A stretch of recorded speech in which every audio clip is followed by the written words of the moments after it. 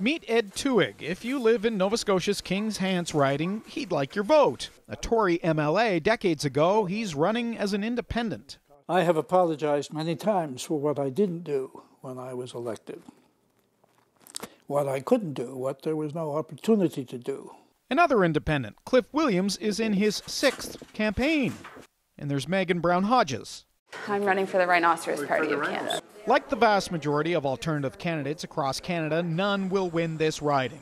15 parties dance on the edge of the electoral system, some familiar the Communist, Christian Heritage, and marijuana parties. But have you heard of the Democratic Advancement Party?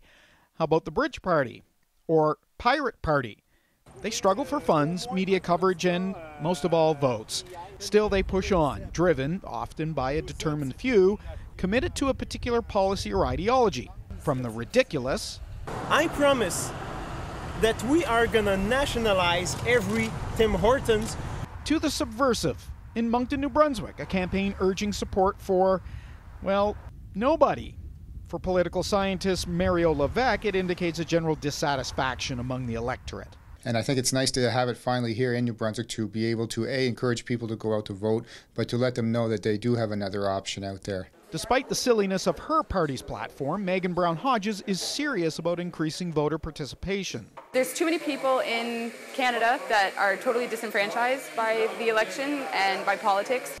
The number of votes these so called fringe parties tend to garner may be insignificant, but the role they play in a healthy democracy is, of course, anything but. Todd Battis, CTV News, Halifax.